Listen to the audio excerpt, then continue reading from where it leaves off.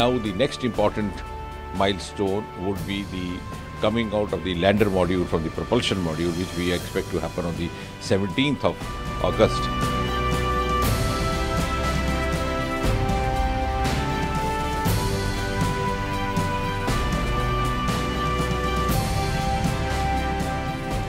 location of the landing would be determined, the exact location somewhere close to the South Pole, which we expect to happen, the exact landing on the 23rd of August around 5.30 pm in the evening.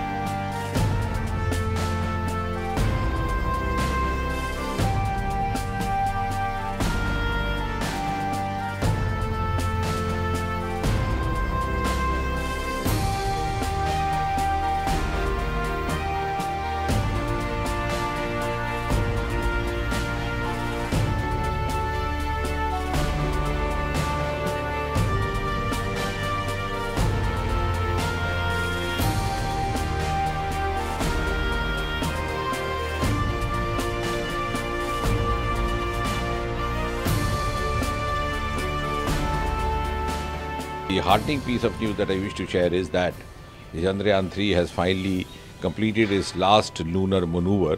It's entered into an orbit of 143 kilometers by 153 kilometers. And uh, now the next important milestone would be the coming out of the lander module from the propulsion module, which we expect to happen on the 17th of August, following which then the location of the landing would be determined, the exact location somewhere close to the South Pole, which we expect to happen, the exact landing on the 23rd of August around 5.30 pm in the evening.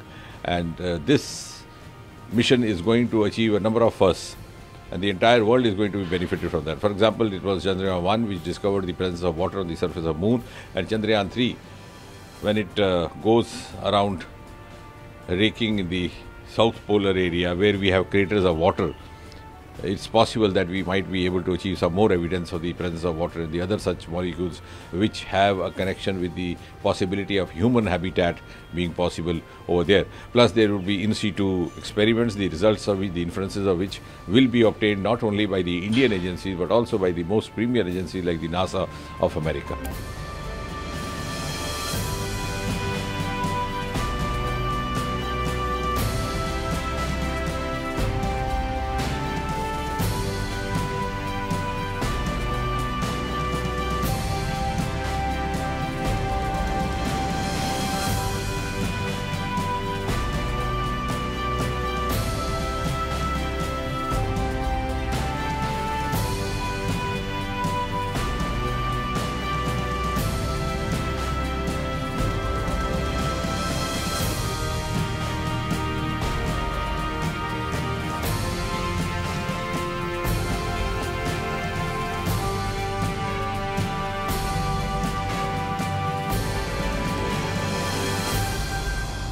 Subscribe to Midday India.